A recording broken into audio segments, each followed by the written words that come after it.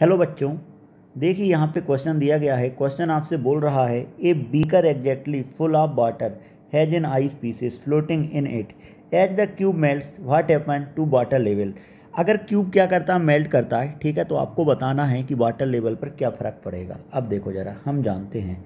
H ice displaces ice displaces the water.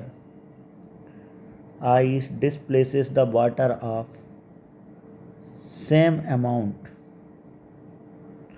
As that of its mass water level will not change. If it melts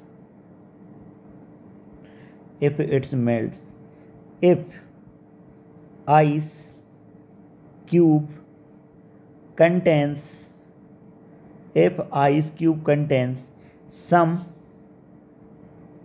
lead pieces lead pieces the then on melting then on melting ice lead pieces lead pieces will sink देखिए ज़रा, अगर मैंने पहले वाले option के लिए बात करता हूँ, ठीक है? क्या बोल रहा है आपके पास? आइस डिस्प्लेस होगा वाटर को, ठीक है? तो सबसे पहले अगर आइस क्या करेगा? मेल्ट करेगा। तो वाटर लेवल में तो चेंज नहीं आएगा।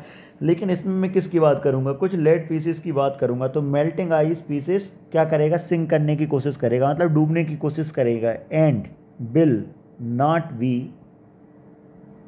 able to displace displace the water equal to their weight equal to their weight so water level will fall so water level will fall ठीक है यहाँ पे वाटर लेवल क्या होता जाएगा कम होता जाएगा if some cork pieces are inside inside the ice cube. Inside the ice cube then after melting after melting cork pieces bill remains bill remains in floating bill remains in floating state. So water level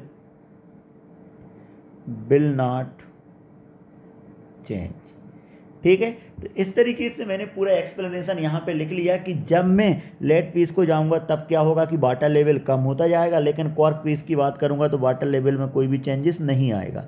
ठीक है? तो मैं बोल सकता हूँ कि यहाँ पर मेरे पास ऑप्शन नंबर वन मतलब ए ठीक है? Option number B and option number D are correct option है।